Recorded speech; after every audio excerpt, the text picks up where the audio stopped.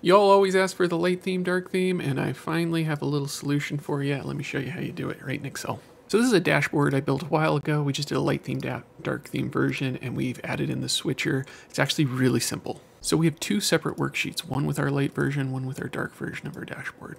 Our switcher here is just text on either side and an image of a rounded rectangle with a little circle inside of it. There's a version of this on both of these worksheets, on the dark theme and on the light theme version. So we have two dashboards, each with a separate little image like this. All I've done is right clicked on the shapes in the text and gone to add hyperlink. There should be an add hyperlink button here. Mine says edit because I already added it. And I've jumped over to my other worksheet and in here I just dragged the circle over and I hyperlinked it back to the other sheet.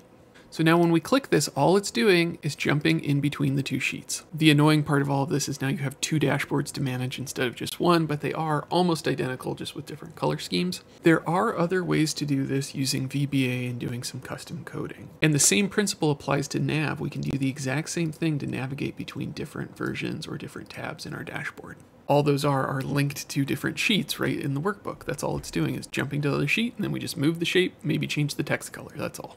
Let's be honest, do you really need a light and dark theme like this in most scenarios? Probably not, but I get asked about this all the time, so I thought I'd show you how to do it anyways. Why not? And if you want to see how I built this entire dashboard back here, I've got a bunch of videos about it here on my channel that go over the whole process and show you all the techniques. That's it for now, folks. Have a good one. Bye.